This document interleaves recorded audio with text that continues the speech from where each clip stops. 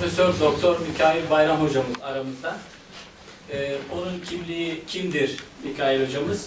1940 yılında Van Saray ilçesinde doğdu. İlkokulu ilçede, ortaokulu Özal ilçesinde, liseyi Van Atatürk Lisesi'nde bitirdi. Ankara İlahiyat Fakültesini 1966 yılında bitiren hocamız ortaokul ve lise yıllarında o yöredeki medreselerde e, eğitimine devam etti ve ilahiyat okuduğu döneme de medreselerle ilgili derin araştırmalar yaptı. Fakülteden mezuniyet tezi Zerdüşt ve Avastesi konusuydu. Konya Yüksek İslam Enstitüsü'nde Fars dili ve edebiyatı derslerini okuttu. Burada görevliyken bir yıllığına Arap edebiyatı araştırma konusunda Bağdat Üniversitesi'ne gitti. Oradan e, Bağdat Üniversitesi'nde Arapça sertifikasını kazandı. Konya Yusuf Ağa Kütüphanesi'nde bulunan Farsça yazma eserler konusunda yüksek lisansını tamamladı hocam. 1973 yılında askerliği bitirince 3 yıl Bursa'da, 3 yıl Uludağ Üniversitesi'nde ilahiyat fakültelerinde Fars dili ve edebiyatı derslerini okuttu. İstanbul Üniversitesi Edebiyat Fakültesi'nde bu dönemde Şeyh Nasurettin Mahmut El-Hayi yani Ahi Evren'in hayatı, çevresi, eserli konulu doktora teziyle doktor oldu. 1979 yılında Selçuk Üniversitesi İlahiyat Fakültesi'nde bir yıl sonra da Selçuk Üniversitesi Fen Edebiyat Tarihi Fakültesi Tarih Bölümünde öğretim görevlisi olarak atandı. Kültür Bakanlığı'nın yazma eserler kataloğu çalışmasına katıldı. Konya çevresinde yazma eserler konusunda İslam Konferansı temsilcisi olarak çalıştı. 1990 yılında do doçent, 96 yılında e, profesör oldu.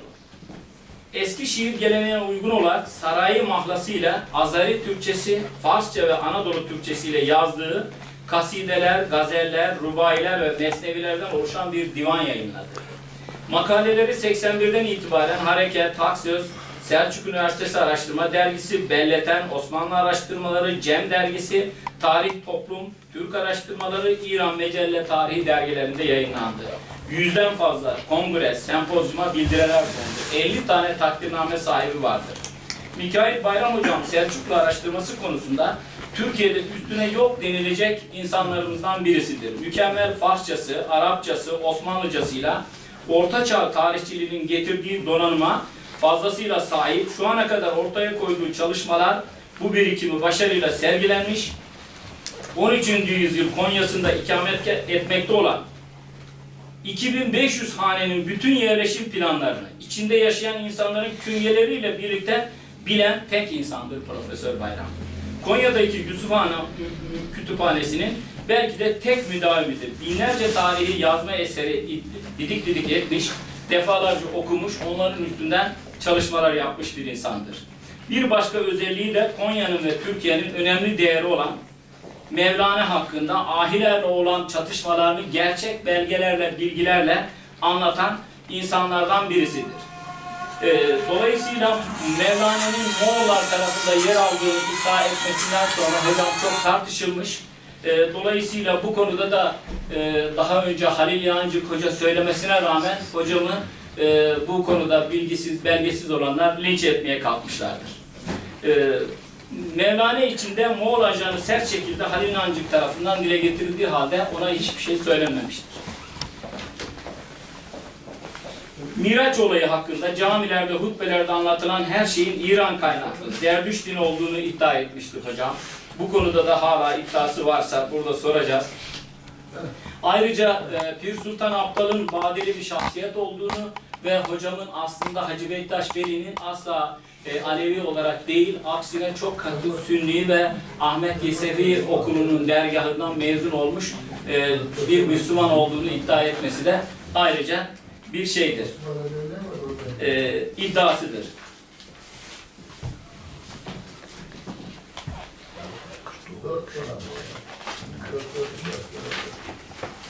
Hocamın e, kitapları Sadri Konev, Sadrettin Konevi, Şehevüddin Hamidi Kirmani, Evadiye Hareketi, Sosyal ve Siyaset Politikleri Ahi Evran, Mevlana Mücadelesi, e, Ahi Evran Teşkilatı'nın kuruluşu, imanın boyutları, Fatma Bacı ve Bacıyan Rum Bacılar Teşkilatı, e, Hacı Nasrettin Tusi'nin ihtilalçiliği, Ahi Evran Naci Nasibüddin'in dinle ilgisi, fil olayının mahiyeti, fil suresi, Selçuklular zamanında Konya'da dini hareketler, tasavvuf düşüncenin ahi evran esasları, Danışmentoğullarının devletinin bilimsel kültürel mirası, destursuz bağdan üzüm yiyenler, tasavvufi düşüncenin esası, e, esasları, Tafsirat-ı Mütadi ve Teskirat-ı Müntehi isimli eserleri vardır. Arz ederim Sayın Hocam.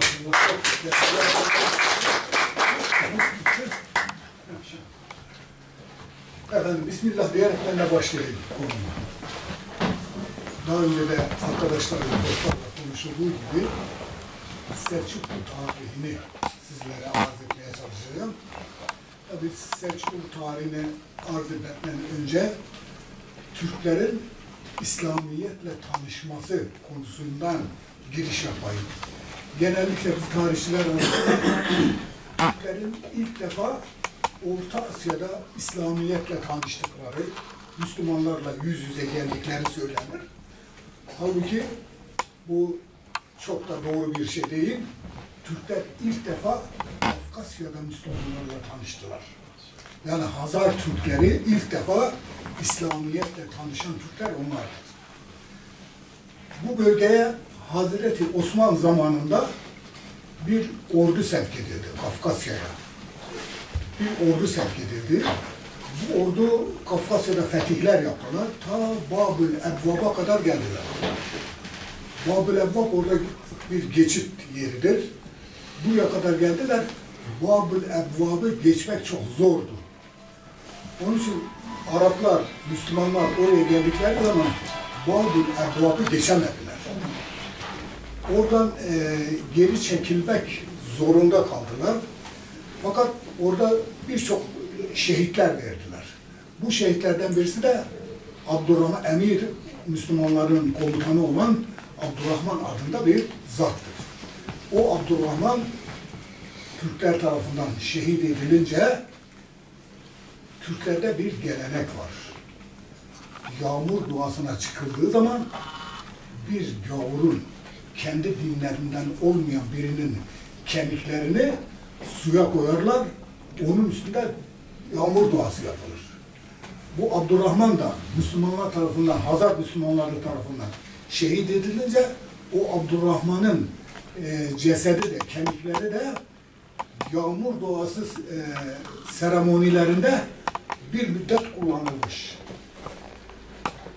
Fakat buradan e, şuraya gelmek istiyorum. Bu Hazar Türkleri döneminde, Hazarlar zamanında burada güçlü bir devlet vardı. Hazar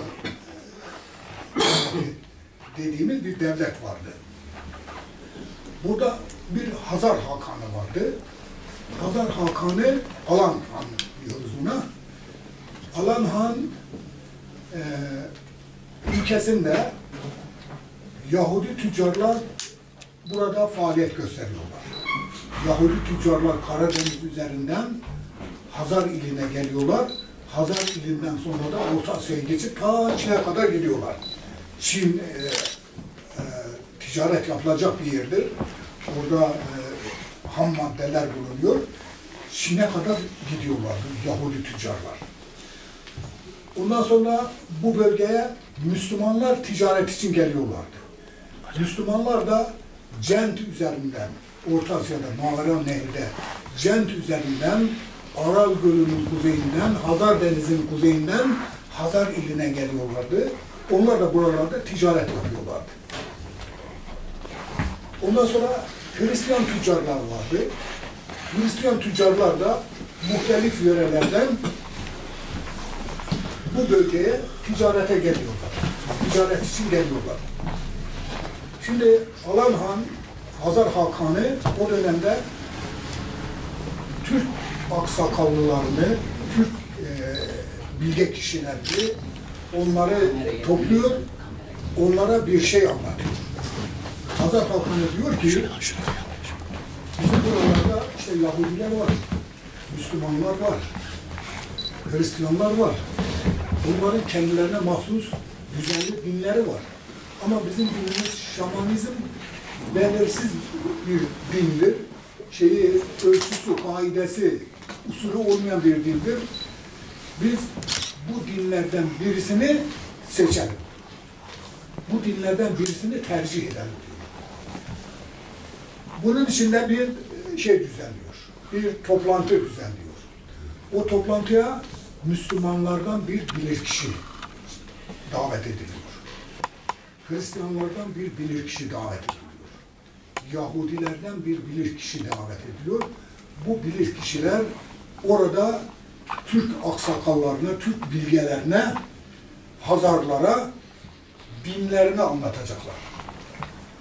Bu toplantıda ilk sözü Müslümana veriyor. Müslüman da Abbasi halifesi Harun Reşit tarafından e, şey oraya gönderilmiş. Türklerin talebi üzerine oradan e, gelen bir adammış ve anlaşılıyor ki bu adam Müslümanların tarafından temsil edilen adam e, kelamcıymış. Yani İslam dininin itikadi esasları üzerinde e, çalışmış bir adam imiş. O konuşmasında İslam dinini anlatıyor. İslam dininin ahlaki yönlerini anlattığı gibi işte diyor Cenab-ı Allah peygamberler göndermiş. İşte bildiğimiz en eski peygamber İbrahim peygamberdir. Ondan sonra Musa peygamber geldi. Onun da dini bozulduktan sonra Cenab-ı Allah yeni bir peygamber gönderiyor. İşte İsa geldi, İsa peygamber geldi. Peygamberleri sı- sıralıyor ve en sonunda da diyor zamanla Hristiyanlık da dejenere olunca, bozulunca Cenab-ı Allah Hazreti Muhammed'i gönderdi Ee, ve son peygamber de budur diye anlatıyor. Müslümanın İslam hakkında verdiği rapor bu minval üzeredir. Arkasından Hristiyana, bir Hristiyan keşişe söz veriliyor. Hristiyan keşiş de kendi dinini anlatıyor. Ee, Hristiyanlığı anlatıyor. O da aynen Müslüman gibi işte İbrahim peygamber var, Musa peygamber var. En sonunda işte eee Cenab-ı Allah oğlunu gönderdi. Hazreti İsa'ya oğul diyorlar ya. Oğlunu gönderdi. İşte biz o Hazreti Cenab-ı Allah'ın oğlu olan kurtarıcı, tek kurtarıcı olan İsa'yı gönderdi. İşte biz Hazreti İsa'nın ümmetleriyiz diyor. Sıra Yahudi'ye gelince Yahudi diyor hepimiz bu Müslümanı ve Hristiyanı keşişi dinlediniz. Bak her ikisi de benim peygamberlerimden bahsettiler. Hazreti İbrahim'den bahsettiler, Yahudilerin peygamberleri. Musa'dan bahsettiler. Ee, şeyden, e, Yusuf'tan bahsettiler, Davud peygamberden, Süleyman peygamberden bahsettiler. Ve İsa'dan bahsettiler. Bunlar bizim peygamberlerimiz. Biz Hristiyanların, e, şey, Yahudilerin peygamberleridir. Ben onların dediklerini hiç kabul etmiyorum. Onları peygamber olarak tanıtıp kabul etmiyorum. Ama bak onlar bizim bu peygamberlerimizi hepsinde onayladılar. Dolayısıyla bizim hakkaniyetimiz var, bizim üstünlüğümüz var, bizim böyle bir dinin mensuplarıyız diyorlar. Yahudinin bu tarifi oradaki Hazarlar tarafından makbul karşılanmış ve Yahudiliği, Yahudiliği, Museviliği resmi din olarak kabul etmelerine vesile olmuş. İşte o Alan Han dediğimiz zat Yahudiliği Türkler arasında resmi din olarak kabul etmiş. Ve Türklerin de Yahudi dinine girmelerine de biraz zorla, e, icbar ederek Türklerin Yahudi olmasını sağlamaya çalışmış. İşte biz Hazar Yahudileri dediğimiz Yahudiler bunlar. Evet, e, Yahudi şeyler Hazarlar bu şekilde Hristiyanlaşıyorlar. Pardon ya- yanlış söyledim. E, Yahudiliği resmi din olarak kabul ediyorlar. Şimdi öbür tarafa gelelim. Yani Orta Asya'ya gelelim. Orta Asya'dan da Müslümanlar ilk defa Emeviler zamanında Horasan'ı zapt ediyorlar. Arkasından Muaveran Nehre giriyorlar. Buraya geldikleri zaman buradaki şehirlerde Türkler de mesul. Türkler de var. Ve Türkler ilk defa e, Emeviler zamanında bu bölgelere geliyorlar bu bölgelerde İslamiyet'i tanıtıyorlar. Türklerin bir kolu da, Orta Asya kolu diye- diyebileceğimiz e, kolu da İslamiyetle burada ta- tanışıyorlar. İslamiyet'in belki en yoğun olarak tanışıldığı yer Cürcan denilen bir yer var. Orası Türk ilidir, Gurgan'dır. Gurgan e, Araplarda G harfi olmadığı için o Gurgan'ı Cürcan yapmışlar. Cürcan denilen mevki Türk bilim adamlarının, Türklerin yoğun olarak İslamiyet'i yaşadıkları bir bölgeydi. O Hazar Denizi'nin doğu yakasında bulunan bir bölgedir. Ee, ve anlaşılıyor ki eskiden beri orası Türkler için bir karargah idi. Şimdiki Türkmenistan mı? Türkmenistan. Türkmenistan. Hatta Harezm, Harezm. Harezm, o bölge. Evet, e, Türkler burada yoğun olarak İslamiyetle tanışıyorlar. Bir de bu bölgede bir Merv denilen yer var. Merv'de Türklerin yığınak halinde oldukları, kalabalık oldukları bir bölgeydi. Ee, e, Türk, e, Araplar Maveran Nehre geçtikleri zaman Maveran Nehir'de de Türk bir muhit idi oralarda. Gerçi Suudi memleketiydi ama oralarda onların arasında Türkler de var. Bu bölgede yoğun bir e, Türk şey vardı, halk vardı. Şimdi biraz daha ilerleyelim, daha e, sonraki dönemlere gelelim. E, bir dönemde e, Türkler, bu Orta Asya'daki Türkler e, şeylerle de Hazar Türkleriyle de irtibat halindeydiler. Bu dönem Göktürk Devleti'nin yıkıldığı dönemdir. Göktürk Devleti yıkıldıktan sonra, bu devletin inkırazından sonra o bölgeden de çok sayıda Türk batıya doğru göçüyorlar. İşte batıya doğru göçtükleri zaman bu dediğimiz Oğuz ili dediğimiz bölgeye geliyorlar. Hazar Denizi'nin e, Aral Gölü'nün kuzeyiyle Hazar Denizi arasındaki bu bölgeler e, Oğuz ilidir. İşte Orta Asya'dan, e, Göktürk ilinden e, göçen insanlar da bu bölgeye geliyorlar. Bu bölgeye geldikleri zaman haliyle onlar da İslamiyetle tanışma imkanı bulabiliyorlar. Çünkü e, bu bölgelerde az önce de dediğim gibi e, Müslüman tüccarlar Hindistan'dan gelen e, ticaret yolu Cent şehrinde, Cent dediğim yer Aral Gölü'nün tam doğusudur. Cent şehri üzerinden Hazar iline mal sevkiyatı yapıyorlar. İşte İslamiyet'in bu bölgelerdeki yoğun propaganda şeyi bu tüccarlar vasıtasıyla oluyor. Tüccarlar bu bölgelere geliyorlar. İşte bu bölgelere geldikleri zaman bu tüccarlar İslamiyet'i bu bölgedeki insanlar arasında da tanıtıyorlar, yayıyorlar. Ve Türkler arasında eee yoğun bir İslami, İslamileşen, Müslümanlaşan bir halk, Türk halkı bulunuyor artık bu bölgelerde. Bu bölgedeki insanlar bir dönemde Hazar Hakanlarıyla geçinemiyorlar. Az önce dedim Hazar Hakanları, Hazar bölgesi resmi olarak Yahudi din kabul etmişler. Ee, burada bulunan bu Oğuz ilinden gelen Müslümanlaşmış olan bu insanlar Hazar Hakanlarıyla da Hazar, Hazar Hakanlarıyla da uyuşamıyorlar. Hazar Hakanları bunların üzerinde baskı kuruyor. Çünkü onların e, Yahudi olmasını sağlamaya çalışıyorlar. İşte bu baskılardan dolayı o dönemde bir Türk emiri olan, bir Türk hanı olan, halkanı olan Dokak adındaki bir zat, işte bu Oğuz Türkleri, Oğuz iline geliyor.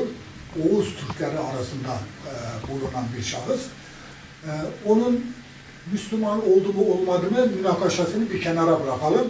Çünkü bazı tarihçiler Müslüman oldu diyorlar, bazıları Müslüman olmadı diyorlar. Ama onun oğlu olan Selçuk, Müslüman olmuş bir şahsiyettir. Ee, Müslüman e, Türk liderler arasında belki ilk diyebileceğimiz bir e, şahsiyettir Selçuk Bey.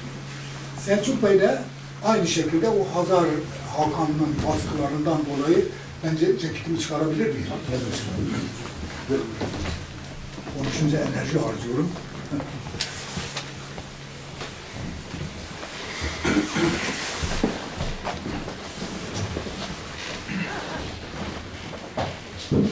Evet, Selçuk Bey de e, bu rahatsızlıktan dolayı Oğuz ilinden de uzaklaşıp, Hazar ilinden ve Oğuz ilinden uzaklaşıp Cent şehrine gelip yerleşiyor.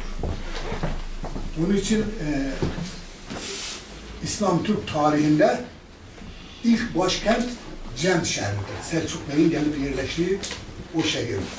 Cent şehri yoğun bir ticaret yeriydi. Az önce de dedim.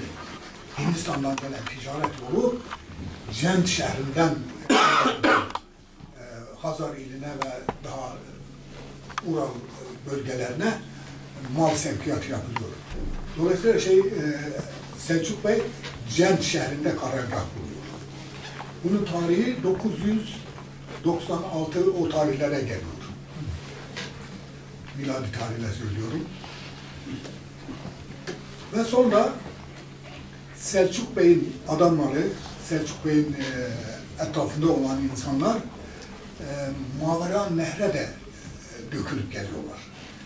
Belki ilk hicret ettikleri yerlerden birisi Mavera Nehri'dir. Ama burada bir devlet vardı. Bu bölgede bir devlet var, o da İrani bir devlet. Samanoğulları devleti. Samanoğulları devletinin topraklarına gelmiş oluyorlar. Hatta Samanoğulları devletinin hizmetine de giriyorlar. Samanoğullarıyla Karahanlılar arasındaki savaşlarda, mücadelelerde bu Selçuklu Türkleri, e, Oğuz ilinden gelen Türkmenler Samanoğullarının yanında yer alıyorlar. Bakın Samanoğullarıyla Karahanlılar devleti. Bu iki devlet birbirleriyle savaş halindeler. Bu savaşta e, Oğuz ilinden gelen bu Türkmenler, İranlar Terkeman diyorlar. Terkeman denilen bu insanlar şeyin e, Samanoğullarının yanında yürüyorlar. Niye? Çünkü Samanoğulları e, devletin yapısı içinde bunlar görev almış insanlar idi. Bu bakımdan e, Samanoğullarıyla ilişkileri hoş idi. Ve Samanoğulları da Abbasi devletiyle Abbasi e, devletiyle de hoş ilişkiler içinde bulunuyorlardı. E, Samanoğulları. Ve bundan dolayı e, Müslüman Türkler bu vesileyle Abbasi devletini de tanıyorlar artık. Böyle bir devletin mevcudiyetinden de haberdar idiler. Ve bu Karahanlılarla Samanoğulları arasındaki mücadele bir hayli uzun sürdü ve netice itibariyle Karahanlılar Mağaran Nehri zapt ettiler. Şeylerin başkenti olan, Samanoğullarının başkenti olan Semerkand'ı zapt ettiler. Ee, hatta bazı şeyler de, prensler de gelip şey- Türklere sığındılar. Yani Türkler belli prensleri himaye edecek bir siyasi güce sahip olmuşlar. Burada hemen aklıma ge- geldi, bunu da zikrem, bu ilk devir Selçuklu şehzadelerinde Selçuklu Ümera'ya baktığınız zaman bakın hepsinin adlarında Yahudi şey var. Mikail var, İsmail var, İbrahim var, öyle değil mi? İsrafil var. Bak bunlar hep Yahudi adları. Hatta Davut var, Süleyman var.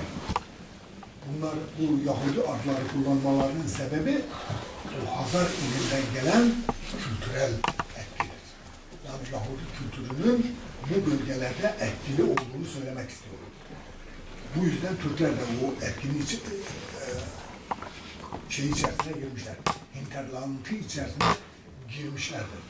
Neyse bu çok da önemli değil ama e, Samanoğulları devleti dağıldıktan sonra hatta Samanoğulları devleti hayattayken de bir tarafında Karaman e, şeyli Karahanlılar devleti Şimdi Türkler de Harezm ilinden, Oğuz ilinden, Harezm ilinden güneye inmeye çalışıyorlar. Bu Türkler arasında bir ideal haline geldi. Güneye inme şeyi, macerası diyeceğiz. Türklerde güneye inme, güney bölgelere inme e, macerası. Ve bunun için birçok şeyler yapıyorlar. Birçok seferler düzenliyorlar. E, akımlar düzenliyorlar. Horasan'a girmeye çalışıyorlar. O zaman e, Samanoğulları'nın bölgesinde kurulmuş olan Gazneliler Devleti var. Gazneliler Devleti bugünkü Afganistan'ın güneyinde Gazne denilen kentte kurulmuş ve bunlar da bu Gazneliler de aslı itibariyle Türk kökenli insanlardır. Bunların dip dedesi Sebük Tekin Kırgız'dır. Kırgız ilinden getirilmiş e, Samanoğulları devletinde orduya alınmış, orduda önemli bir mevkiye gelmiş bir adamdır. Ondan sonra Tekin Alp dediğimiz bir adam var. İşte Samanoğulları zamanında bunlar o bölgeye yani Gazne bölgesine gönderilmiş. Orada bir devletçik şeye bağlı, Samanoğullarına bağlı bir devlet oluşturulmuş. Ee, bizim Muhammed İkbal'ın e,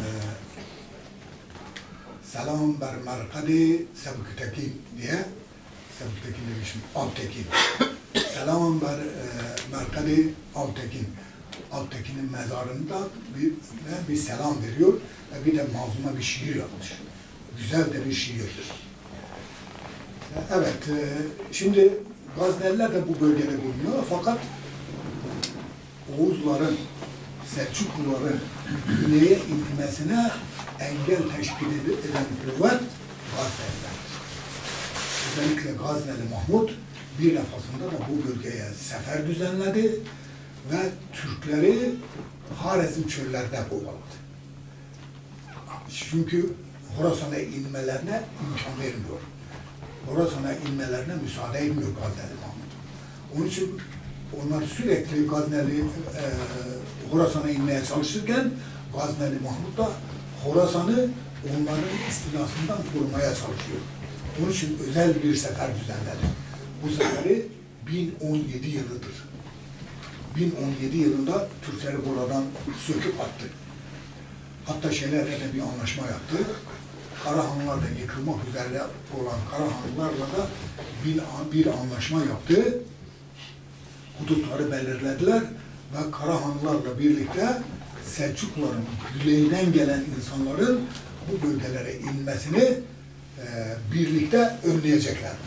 Gaznelilerle Karahanlılar. Fakat bunların güçleri yetmedi. Zaten bir müddet sonra Karahanlı devleti dağıldı. Ee, ve şeyler e, Selçuklular daha büyük, büyük bir güçle, daha kalabalık bir insan kitlesiyle güneye inmeye, Horasan'a inmeye çalıştılar. Ve en sonunda da bu Horasan, Horasan macerası Gaznelilerle Selçuklular arasında bir büyük savaşa sebep oldu. O savaşta hepimizin bildiği gibi Dandana Kan Savaşı'dır. 1040 yılında meydana gelen Dandana Kan Savaşı'dır. Bu Dandana Kan Savaşı'nda Türkler, Oğuzlar, Oğuz ilinden gelen kalabalık Türkler Selçuklu ailesinin prensleriyle birlikte bunlar güneye inerken bu bölgeye geldiler. Horasan bölgesine geldiler, dayandılar. Ee, Gazneli Mahmud'un oğlu Sultan Mesud da büyük bir ordu tedarik ederek o da o orduyla bunların önünü kesmeye çalıştı. Bir orduyu harekete geçirdi. Tabi Gaznelilerin bu ordusunda filler de vardı. Biliyorsun onlar Hindistan'a seferler düzenliyorlardı. O, bu seferler sırasında orduda fil de kullanıyorlar. Filleri de kullanıyorlardı. İşte böyle fillerle donanmış bir ordu, e, zengin e, bir ordu, yani ordunun ihtiyaç duyacağı malzemeler bakımından zengin olan bir ordu, büyük bir şeyle e, bu bölgeye geldi. Ve bunlar Selçuklularla yüz yüze geldiler. Oğuzlarla yüz yüze geldiler. Gazneli ordusu, öbür tarafta da Selçuklu ordusu, Oğuz ordusu. Bunlar yüz yüze geldiler. O devrin tarihçisi var Beyhaki diye. Beyhaki bizzat o ara o şeyde bulunmuş bir insandır. Onun tarihinde anlattığına göre diyor Türkler Damla'nın kan denilen yerde Gazneli ordusuyla karşı karşıya geldikleri zaman Türkler diyor eee atlarla, atlı birliklerle Gazneli ordusuna hücumlar düzenliyorlardı. Türklerde bir, bu, bu bir savaş taktiğidir. Eee atlı birliklerle eee düşmanlarına ok yağdırırlar ve geri kaçarlar. Ağır ordularla genel olarak bu hafif birlikleri takip edemezler. Her zaman tarihte sık sık e, meydana gelen bir hadisedir bu. E, ağır e, donanımlı ordular göçebe ordular karşısında mağlup olurlar. Bunun birçok örnekleri var. İşte burada da aynı olay oldu. Selçuklular atlı birlikler halindeydi. Bu atlı birlikler Gazneli ordusuna yaklaşıyor. Orduya ok yağdırıyor ve geri çekiliyor. Geri çekil. Bu kaç aklı derdi. Ee, o ordular da, o ağır ordular, donanımlı ordular da onları takip edemezler. Malazgirt'te de aynı şey oldu. Şimdi bu e, darbeler, vurkaç taktiği Gazneli ordusunu bunalttı. Ve Gazneli ordusu bunalınca da ordu geri çekilmek ve dağılmak zorunda kaldı. İşte bu hadise Türklerde bizim bir tarihçimiz var Mehmet Altay Köymen. Mehmet Altay Köymen bazı hadiseler anlatır. Ee, bu hadise Türklere şunu kazandırdı gibi tasvir eder. İşte Gazne şeyde Damdan Akan Savaşı'nda anlattığı zaman diyor ki Damdan Akan zaferi de bize devlet kurmanın kapılarını açtı. İşte gerçekten böyledir. Damdan Akan'da kazanılan bu zafer, bu zaferle e, Türkler Horasan'ı tamamen zapt etmiş oldular. Horasan fiilen şeylerin eline geçmiş oldu. Selçukluların, Oğuzların eline geçmiş oldu. Bir resmiyet kazandı yani. Genellikle büyük savaşlardan sonra devletler arasında, savaşın taraftarları arasında bir barış görüşmesi yapılır. İşte Damdan Akan Savaşı'ndan sonra da e, Selçuklularla Gazneliler arasında bir barış görüşmesi yapıldı. Barış görüşmesi düzenlendi. Bu barış görüşmesinde tabii bir taraf Gazneliler tarafları, e, o bilgili insanlar, kimse, onlardan müteşekkil bir grup, bir de Selçuklular onlarla görüşmek üzere onlar da bir heyet oluşturdular. O heyetin içinde kimler var? Birisi bu heyetin başında bir Tuğrul Bey var. Selçuklu ailesinden Tuğrul Bey. Ondan sonra bu heyetin içinde eee, bir şey var. Bir şahıs var. O şahıs Çağrı Bey'i temsil ediyor. Çağrı Bey kendisi gitmiyor o heyete. Çağrı Bey'i temsil eden bir bilge kişi, genellikle bu bilge kişileri görevlendirirler. Ee, Çağrı Bey'in temsilcisi olarak oraya geliyor. Az önce dedim Tuğrul Bey oraya geliyor. Ondan sonra bir temsilci Musa Yabgul'u temsil ediyor. Musa Yabgul, Tuğrul Beylerin emmisidir. Onlardan büyüktür yani. Bir zat da e, onu temsil ediyor. O da o heyete katılacak. Ondan sonra bir şey e, Davud'u temsil ediyor. Yine Çağrı Bey'in oğullarından olan e, Kirman Selçukluların kurucusu onu temsil ediyor. Fakat Beyhaki az önce adını söyledim. Beyhaki bir şey daha söylüyor. Beyhaki diyor bu Türklerin oluşturdukları heyetin içerisinde bir de danışmen Ali Taylı vardı. danışman Ali Taylur. Türkler arasında bilge bir kişiydi. Türklerin bilge kişisiydi ve bu adam diyor e, şehzadelerin muallimi. Öyle şey öyle tanıtıyor. Bu Beyhadi bu zatı öyle tanıtıyor. Diyor şehzadelerin muallimi olan Ali Tayyur da bu heyete katıldı. Fakat bir kayıt düşüyor. Diyor bu danışman Ali Taylur birisine vekalet etmiyor. Kendi kendisini temsil ediyor. İşte bu yadağında bu Zeki Denizli Tuban hocamız çok haklı bir şey söylüyor. Zeki Denizli Tuban diyor ki bu danışman Ali Tayyur şehzadelerin muallimidir ve, ve fakat şeyde bu e, barış görüşmesinde kendi kendisini temsil etmesi devletin kuruluşunda pay sahibi olmasından kaynaklı. Yani Selçuklu devletinin kuruluşu sadece Selçuklu ailesinin, prenslerin kurduğu bir devlet değil. Bunların içerisinde bir de Ali Tayyip var. O kendi kendisini temsil ediyor. Yani bu devletin kuruluşunda pay sahibi olan bir adam. Evet, bunlar bu heyet şeylerle görüşüyorlar. Ee, Gaznelilerle görüşüyorlar. Ve Gaznelilerle görüşmesinin sonunda Gazneliler hemen hemen İran'ın tamamını, Horasan'da dahil, İran'ın tamamını Selçuklulara veriyorlar. Selçuklulara teslim ediyorlar. İşte böylece büyük bir devlet kurulmuş oluyor. Tabii Selçuklular bu zaferden sonra gene Selçuklu prensleri bir araya geliyorlar. Bir araya geldikleri zaman devletin başına kim gelecek? Bir sürü şey var. Yani burada şunu da unutmadan söyleyeyim. Ee, Selçuklu yapgusu olan İsrail e, İsrail Gaznelilerin elinde esirdi. Gazneli Mahmut onu davet etmişti. Ee, görüşme yapmak üzere e, Gazneli Mahmut zamanında ta Sultan Mesut'ta değil, ta Gazneli Mahmut zamanında e, oraya e, barış görüşmeleri yapmak için gitmişti şeye, Gazne'ye. Gazneli Mahmut onu esir almıştı. Hatta onu orada öldürdü de. E, Utalmış'ın babaları. Bunlar e, bu şeyde nedir?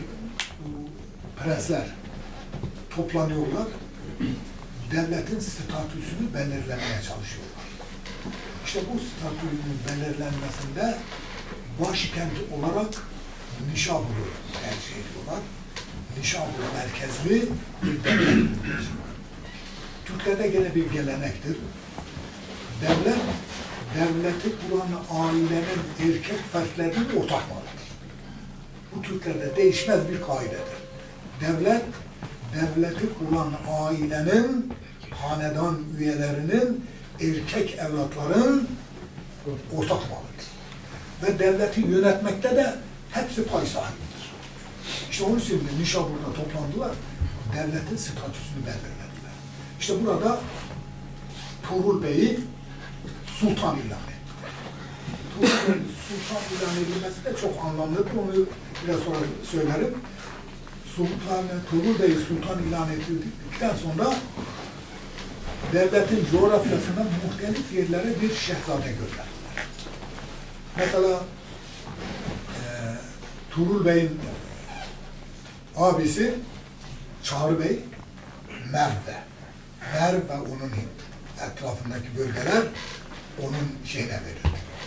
Ondan sonra e, Davut, Davut Kirman'a gönderildi. Bakın İran'ın Kirman bölgesi Davut'a verildi. O orayı yönetecek. Süleyman yine o aileden bir zattır. Süleyman e, bugün Sari deniyor İran'da. Hazar Denizi'nin Hazar Denizi'nin e, doğu güney kısmı. O bölgeler Süleyman'a verildi. Ondan sonra kim vardı? Bunları hatırlamaya çalışıyorum. İbrahim Yinal, İbrahim Yinal Azerbaycan bölgesine tayin edildi. Hanedan üyeleri. Hanedan üyeleri böylece devleti parselliyorlar. Sonra e, şeyler utanmış oğulları onlara şey veriyor, İsfahan'a görevli. Irak-ı Acem deniliyor burada. Irak-ı Acem onlara veriliyor. Bu şeyler, bu şehzadeler gittikleri bu, ha, şey, bir şeyi unutuyoruz.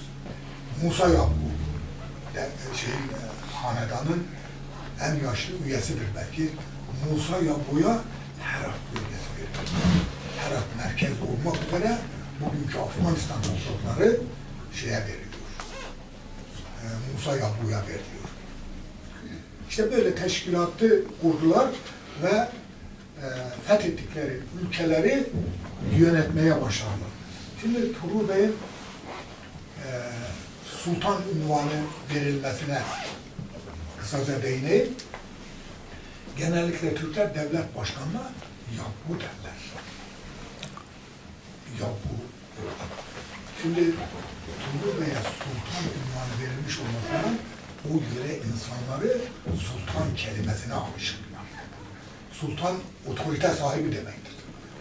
İşte bu otorite sahibine e, madem ki otorite bunların eline geçiyor, ona sultan ünvanı verdiler. Böylece İran hinterlandında bulunan insanların da bildikleri, hatta Abbasi devletinin de bildiği bir kelimeyi e, şeye ünvan yaptılar. Tuğrul Bey'e ünvan yaptılar ve böylece Tuğrul Bey sultan ünvanıyla bütün bu şehzadelerin başında hani muhtelif yerlere gönderildiler ya tayin edildiler. Bütün bunların başında sultan olarak da Tuğrul Bey'i şey ettiler. Tuğrul Bey koydular. Şimdi ben bir e, problemi dile getirdim. Türk tarihinde önemli bir problemi dile getiriyorum. Bakın şimdi bu şehzadeler toplandılar. Tuğrul Bey'i sultan ilan ettiler ve Tuğrul Bey'i başbuğ olarak tanıdılar. Peki Tuğrul Bey'in meziyeti neydi? Bizim tarihçiler bu soruya cevap verememişler. Bugüne kadar bu soruya cevap verilmiş değil. Niye Tuğrul Bey'i seçtiler? Üstelik Çağrı Bey, Tuğrul Bey'in Abisi. abisi. Ondan sonra e, İbrahim İnal oradan daha şeydir, kıdemlidir. E, üstelik Musa ya bu Musa hem Musa. Niye Musa'ya vermediler de o ünvanı Tuğrul Bey'e niye verdiler? Ben, bunu- keşfettim işte. O şehzadeler arasında en bilgili, en donanımlı insan Tuğrul Bey olduğu için. Liyakat. Evet. Şimdi bilgiydi. Çok bilgili bir insandı. Bunun bilgiliğinden biraz sonra bahsedeyim. Başımıza ağrıtmıyor değil mi?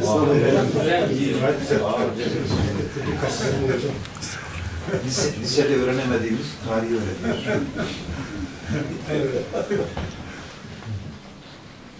Şimdi Tuğrul Bey sultan olarak göreve koyuldu ve bütün şehzadelerin faaliyetlerini o planlıyor, o örgütlüyor.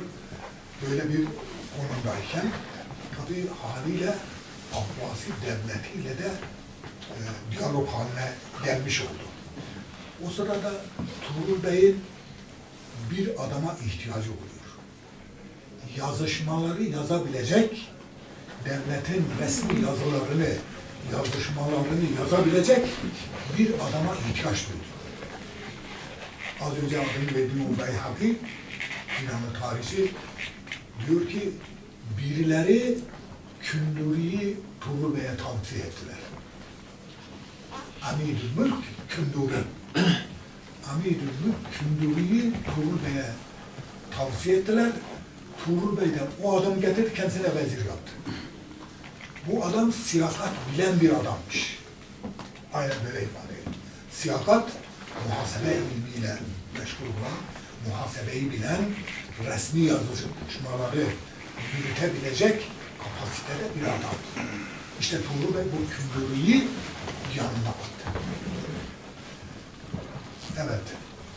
Ben Künduri'ye yöneldim. Bu Künduri'nin ne meziyeti var? Sonra öğrendim. Künduri Mutezile mezhepli akliyeci bir adamdır. Akliyeci bakın. Rasyonalist. İslam'ı rasyonel olarak anlamaya çalışan Mutezile mezhebinin bir üyesidir. Ve Harezm kökenlidir. Harezmlidir. Ve bu Künduri tabi bu meziyetiyle, bu zihniyetiyle devletin en yüksek e, mevkine getirildi. Künduri bu mevkiye geldikten sonra akliyeciliğe uymayan, akliyeciliğe muhalif olan o yöredeki bilim adamlarını, fikir adamlarını e, üzerine bir baskı yaratmaya kalktı.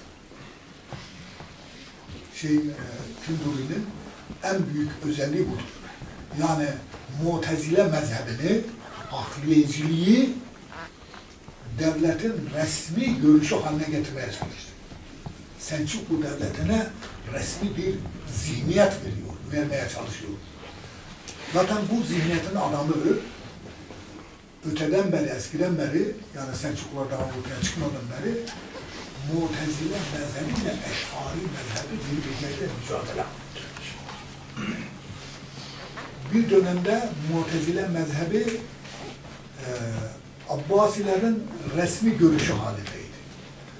Fakat belli bir zamandan sonra bu tasavvufların etkisiyle, tasavvufi ceryanların etkisiyle e, Abbasiler e, Eş'ariliği benimsediler.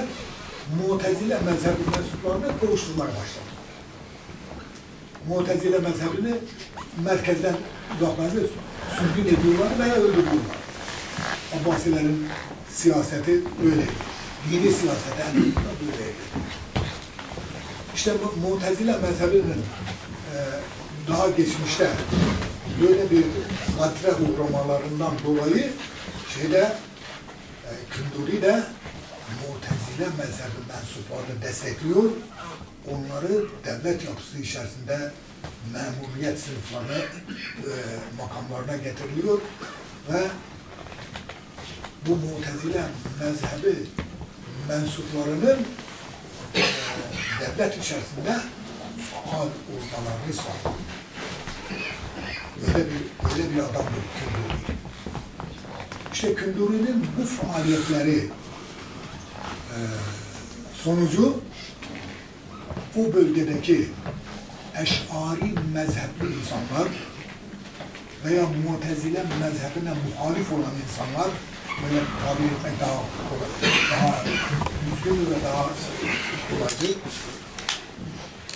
Mutezile mezhebine yani akliyeciliğe muhalif olan çevreler ve bunların başında da eş'ariler geliyor. Eş'ariler Künduri'nin aleyhinde faaliyet gösterdiler ve Künduri'yi Abbasi halifesine şikayet ettiler.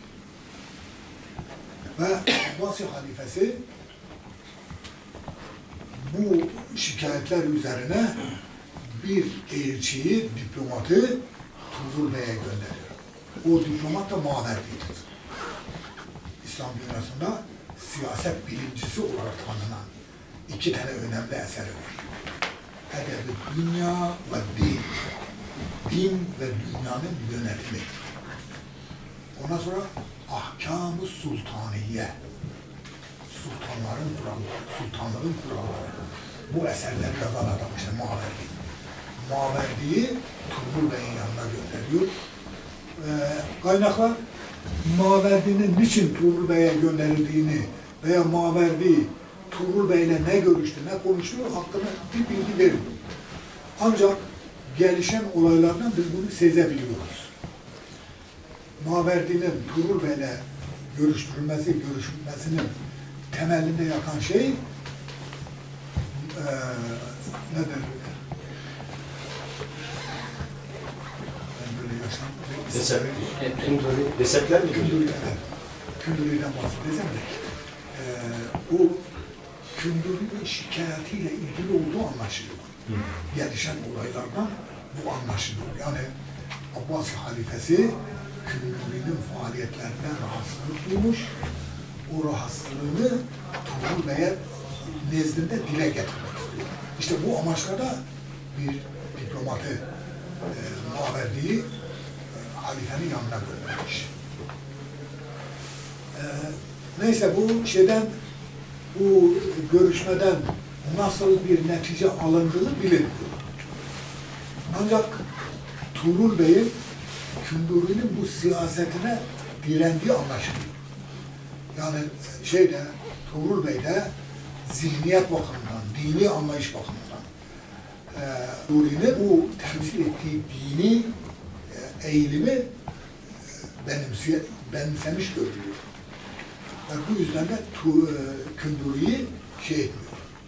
Künduri'yi böyle azletme gibi bir şeyde tehditte bulunmuyor veya Künduri'ye en azından Künduri hakkında e, herhangi bir e, teşebbüste bulunmuyor. E, bir şeyi unuttum. Onu bu, hatırlatayım ondan sonra gel, geleyim gene buraya. O unut, unuttuğum şey de şudur. Hani Türkler e, Mavera Nehre, Horasan'a geldiler, yerleştiler. ya.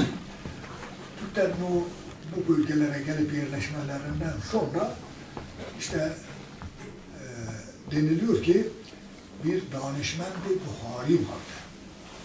Danışmendi Buhari. Bu danışmendi Buhari Türk şehzadelerinin muallimi idi. Danışmendi Buhari. Ve sonradan öğreniyoruz ki bu danışmendi Buhari dediğimiz denilen adam bu Ali Taylu'nun ta kendisidir. Ali Taylu bir dönemde Buhara'da e, hocalık yaptığı için ona danışmendi Buhari demişler. Şehzadeler, Selçuklu şehzadeleri onun için bir kaynakta ona muallimi, e, şehzadelerin muallimi diye anlıyor. Bu şehzadelerin muallimi olarak Ali Künduri Selçuklu ailesinin şerefinde önemli bir mevki ediliyor. Hatta Selçuklu ailesinden bazılarına kız veriyor, bazılarından da kız alıyor. Mesela Utalmış, Utalmış Ali Taylu'nun damadıydı. Ondan sonra e, Şehzade Süleyman vardı. Şehzade Süleyman e, şeyin kızıyla evliydi. E, bu Bukhari'nin, Danışmendi Bukhari'nin kızıyla evliydi. Yani diyeceğimiz e, bu Danışmendi Bukhari veya başka adıyla Ali Taylu Selçuklu ailesiyle hem kız vermiş hem kız almış. Onların e, akrabası olmuş. Ve bu yüzden de Zeki Velidi Togan Hoca'nın bir görüşünü söyledim. Danışment Ali Taylu Selçuklu ailesinde Selçuklu ailesi içinde pay sahibi olan devletin kuruluşunda pay sahibi olan bir insandı. Bu şeyden dolayı bazı sorular, e, konular izah edilememiş. İnşallah sıra gelince o konulara da değineceğim.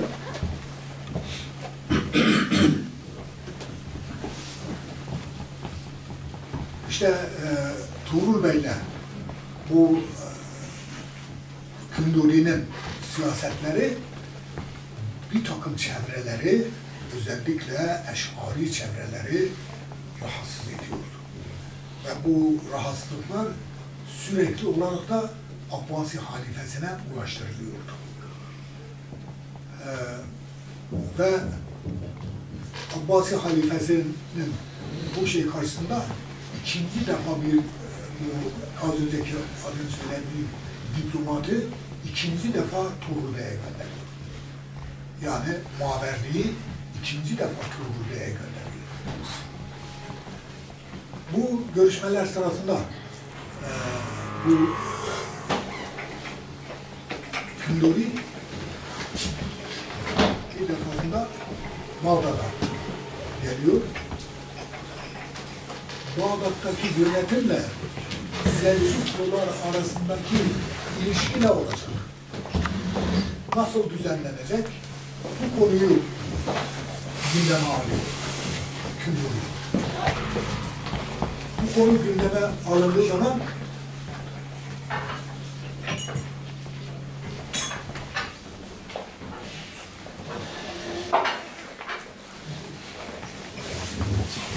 İsterseniz çay içelim. Bir beş dakika mola verelim. Öyle mi? Şey, tekrar insicam olsun. Ben Künduri'nin Bağdat'a gelişini söylemiştim. Künduri tabii belli bir amaçla Bağdat'a geliyor. Bağdat'a gelişinin ana amacı halife ile yeni kurulmuş olan Selçuklu Devleti arasındaki statüyü belirlemek amacına yönelik olarak geliyor. Bağdat'taki yetkililerle görüşüyor ve bu şeyler cümlesinden bu görüşmeler cümlesinden olarak Abbasi halifesi, halifeliği veya Abbasi halifesi Tuğrul Bey'e Sultanı Dünya ünvanı veriyor. Sultanı Dünya. Dünyanın sultanı. Kendisi de Sultanı Din ünvanı. Bakın Abbasi halifesi kendisi Sultanı Din, dinin yöneticisi, dinin başı, Tuğrul Bey'e de Sultanı Dünya ünvanını veriyor. Yine bizim Zeki Velici Togan hocamız haklı olarak bir iddia diyor bu tam bir Türk tipi laikliktir. Türk tipi laiklik. Çünkü bu vesikaya göre, bu belirlenen statüye göre dünya işleri devlet işlerinden ayrılmış, dünya işlerinin başı Turgul Bey olmuş, din işlerinin başı Abbasi. Ama bütün dinler. Bütün dinler mi İslam'ı mı? Yok, İslam, İslam, İslam, İslam, İslam. İslam. din işlerde Abbasi halifesine tevdi ediliyor. İşte bu diyor, bu diyor Türk laikliğidir, Doğu laikliğidir. Laiklik fikri batıya da burada. Nitekim Batılılar kendileri de bunu itiraf ediyor. Laiklik bize doğudan geldi. Doğru diyorlar. Biz O dönemde Batı dini kilisenin Tabii, hakimiyeti tabii, altında tabii. Orta çağ. Orta Çağ. Orta çağ. İşte e, bu laiklik düşüncesi Batı'da tabii çeşitli şekillerde, pozisyonlarda uygulama alanları oldu. Şimdi gelen gene Tuğrul Bey'imize. Tuğrul Bey bu şeylerden sonra bu ünvanından sonra tabii dünya işlerini, dünya nizamını eee otoritesi altında bulunduran bir sultan konumundaydı. Hatta bu arada bir şey de söylerler. Tuğrul Bey ve Künduri Abbasi halifesine yani Abbasilerle görüşmeler yaptıklarında eee Selçuklular ve Abbasiler arasında bir ilişki kurma amacıyla halifenin kızını Tuğrul Bey'e nikahlandığı bu kızı eee sırf Selçuklularla diyalog kurma amacıyla bu kız şeye nikahlandı. Tuğrul Bey'e nikahlandı. Tuğrul Bey bundan sonra da fazla yaşamadı zaten. Fakat önemli olan şey şudur. Ee, Tuğrul Bey böyle iktidardan artık çekildikten sonra bir başka şahsiyet ortaya çıktı. O şahsiyet belirdi. O da İrani bir şahsiyet olan Nizam-ı Mülk diye bilinen kişidir. Bu Nizam-ı Mülk aslen Tuslu'dur. Nişabur'un hemen yanı başında Tus denilen bir yer var. İran'ın çok meşhur bir yeridir. Çok ilim adamları, şairlerin yetiştiği bir yerdir. İşte Ömer Hayyam Murat. evet. Tus'ta, Tuslu olan Nizam-ı Mülk, babası da Hacı Hasan. O da, babası da ilim adamıymış. Fakat Nizam-ı Mülk, bu yörenin insanı olarak nüfuzlu bir şahsiyet idi. Bu şahsiyet ortaya bir ara Eş'ari mezhepli insanlar, ilim adamları, fikir adamları, e, Tuğrul Bey'le, Tuğrul Bey'den memnun değiller ya, Tuğrul Bey'le bir görüşme talebinde bulundular. Ee, Tuğrul Bey onlara e, randevu verdi ve belli bir şeyden sonra bunlar Tuğrul Bey başkanlığında bir yerde toplandılar. Orta yere gelen ilim adamlarının şeyleri, isimleri bellidir. Bunlar arasında Kuşeyli var. Kuşeyli bilirsin, Gazali'nin hocası. Kuşeyli var o şey arasında. Hatta Kuşeyli bir de eser yazmış. Eserini orada Tuğrul Bey'e takdim etti. Eserin adı Şikayetu Ehli Sünne Ma Nâlehu Minel Mehl. Ehli Sünnet mezhebinin eee uğradıkları haksızlıklar hakkındaki şikayetname. Kendilerini haksızlığa uğradıklarını iddia ediyorlar. O haksızlıktan da maksatları Künduri'nin uygulamaları. Yani Tuğrul Bey'in veziri olan Künduri'nin uygulamalarından duydukları şikayeti Tuğrul Bey'e bildiren bir kitap yazmış. Bu şehirde. Ondan sonra ismi İmam İsfarahini var orada. Bunlar o dönemin en e, güçlü ilim. Ondan sonra Ebu'l Maali el-Cüveyni var. Gazali'nin hocası. İşte bunlar toplanıyorlar, bir araya geliyorlar. Tuğrul Bey'le görüşme talebinde bulunuyorlar ve bir araya geliyorlar.